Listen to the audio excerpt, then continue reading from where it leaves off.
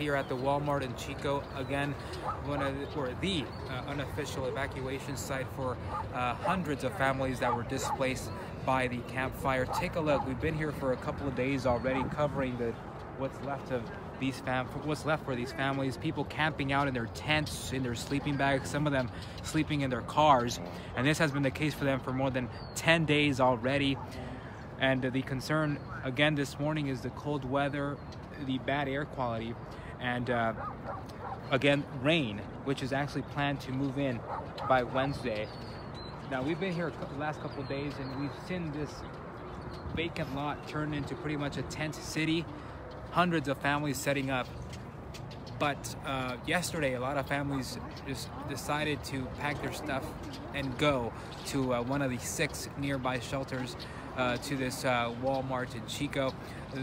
That's because Butte County officials and American Red Cross officials are telling these families, they're encouraging them, in fact, to go indoors and stay away from the cold. We're meeting of families, and this is really devastating, heartbreaking. We hear these families cry constantly meeting this family here. Uh, this is unfortunately very, very common. Um, again, it's just sad. They don't know what to do.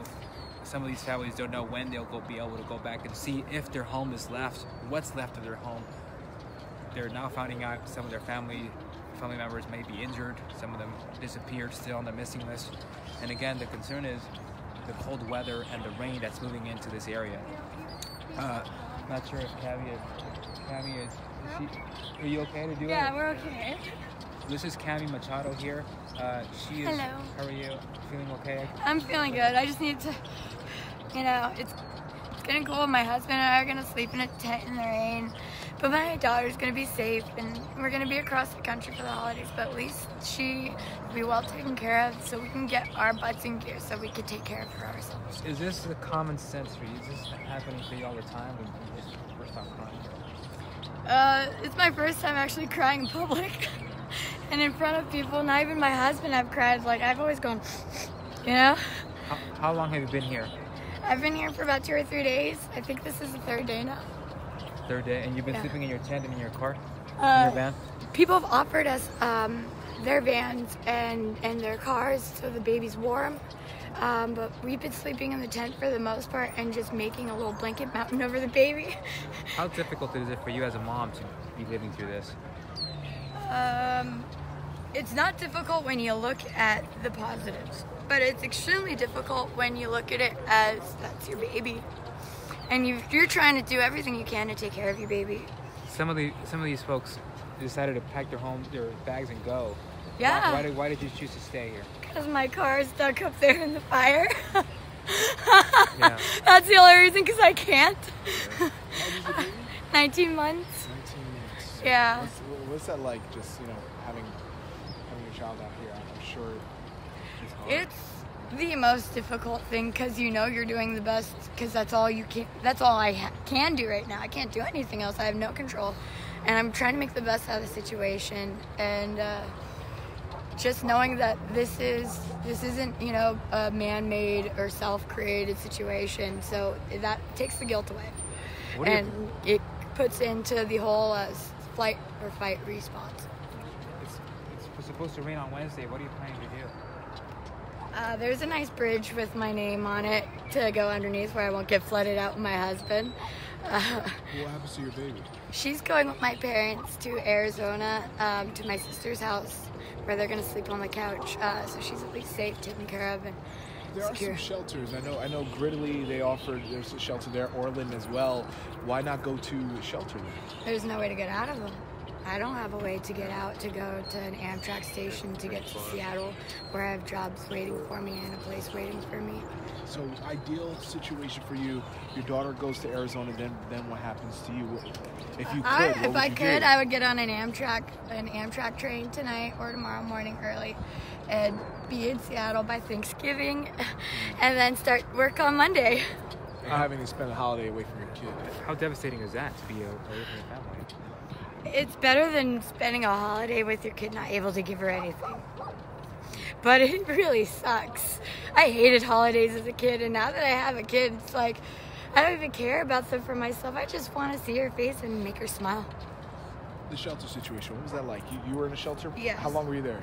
I was there for about five, five or six days. Five or six days. Yeah. And and for those five or six days, what was it like there? They were feeding you. you The first two days, they were actually being really, really accommodating and amazing. And then by about Sunday, Monday, Monday is when they started to get a little bit more cold and uh, calculating, and they stopped putting out drinks. They just waters, and they had like set times to like put out even coffee, and they had set TV times and What- locked people in for you know the night. was this? Pa- uh, Pleasant Valley Pleasant Valley Baptist. Baptist. Okay. Yeah, uh, they actually told us seven different things about when we had to go. We were told Tuesday, and then we were told um, Monday morning, Sunday night, and I finally told them, I said, I want it in writing. Okay, I have a daughter.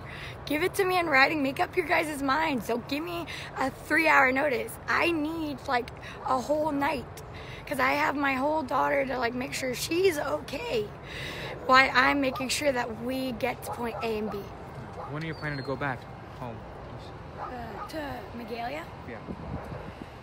If they let us go before the before the end of the week, if I'm still here, I do plan on going. Um, if not, then my husband and I actually are planning to come back about the first week or second weekend of December.